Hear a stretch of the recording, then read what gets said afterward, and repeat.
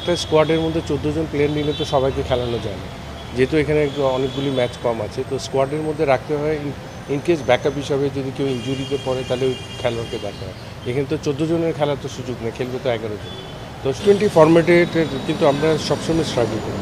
এটা কিন্তু অনেক দিন থেকেই এখন কিছু সময় আসছে যে নতুন করে আবার শুরু করা এটা, এটাই মাথায় রেখে আমরা এখন কাজ করছি। তো এটা আমার মনে হয় যে এখন নতুন করে টি টোয়েন্টি ফর্মেটে দিয়েছে সামনে বিশ্বকাপ খেলা আছে টি টোয়েন্টির এটা নিয়ে কোচের সাথেও আমাদের টিম ম্যানেজমেন্টের সাথে একটা প্ল্যান হয়েছে। তো এটা নিয়ে আমরা আগাচ্ছি। ইনশাল্লাহ আশা করি যে আগামী ছয় মাসের মধ্যে একটা টি টোয়েন্টির একটা স্কোয়াড আমরা রেডি করে ফেলতে পারি টি টোয়েন্টি ফর্মেটের জন্য যে ধরনের যে খেলোয়াড় দরকার আমরা কিন্তু এই ধরনের খেলোয়াড় কিন্তু পাচ্ছি না। আপনি আফগানিস্তানের দিকে দেখেন আপনার যে ছেলে টেস্টে এত রান করেছে ওয়ানডেতে করে ওই ছেলেকে কিন্তু টি টোয়েন্টি খেলাচ্ছে। আপনার ব্যাকআপ প্লেয়ারের দরকার হয়।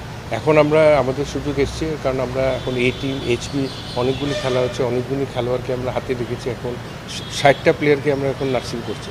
এখান থেকে ইনশাল্লাহ আমরা আলাদা ফর্মেটের একটা আলাদা পুরোপুরি আলাদা না ধরেন টি টোয়েন্টির জন্য কিছু স্পেশালিস্ট প্লেয়ার আমরা এখানে তৈরি করার চিন্তা ভাবনা করছি।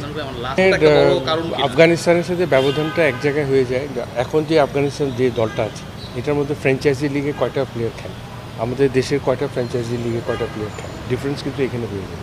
তারপরে ওদের ওদের প্লেয়াররা টি টোয়েন্টি ফর্মেটের জন্য যথেষ্ট ক্যাপাবিলিটি আছে দক্ষতা আছে, সেই হিসাবে কিন্তু আমরা অনেক পিছিয়ে আছি। তো এটা আমরা ডেভেলপিংয়ের চেষ্টা করছি, কারণ এইচপিতে আমরা কোচের সাথে বসে এইবারই প্রথম থেকে শুরু করেছি এই ফর্মেটে যাতে আমরা ভালো ভালো কীভাবে করা যায় এটা নিয়ে এইভাবে আগাচ্ছি আমরা। আসলে ইয়াং এক্সপিরিয়েন্স সব কম্বিনেশন কিন্তু দলের মধ্যে রাখতে হয়। শুধু ইয়াং প্লেয়ার দিয়ে আপনার টিম হয়। তো সুতরাং সব দিক দিয়ে কম্বিনেশন রাখলে সব ধরনের খেলোয়াড়কে এখানে দেখা হবে, ওই চিন্তা ভাবনা করে আমরা আগাচ্ছি।